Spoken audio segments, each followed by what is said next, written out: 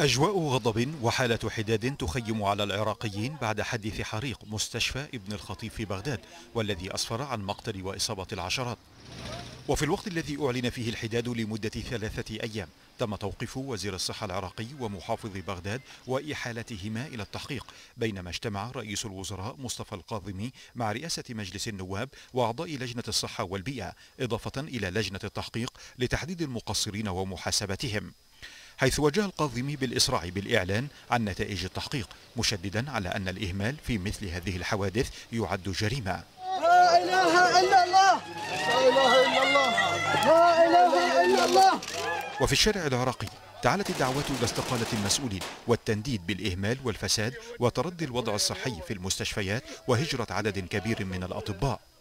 ما ضليت ادور عليه آخر شيء لقيته ناقلين المستشفى الزعفرانية.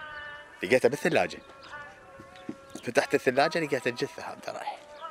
الدخان ماكل وجه. يعني هو مختنق من وراء الدخان. بس الباب الرئيسي تختنق. ما حد قدر يصعد فوق. لا أكو أقنعة تقدر تصعد تسحب المريض مالتك. ماكو المستشفى كلها فرغت وراحت.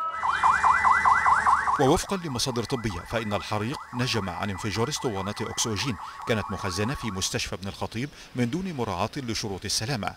في حين أكد الدفاع المدني أن المستشفى لا تمتلك نظام حماية من الحريق ما ساهم في انتشار النيران. انفجار قنينة أكسجين آه، داخل ردة عزل.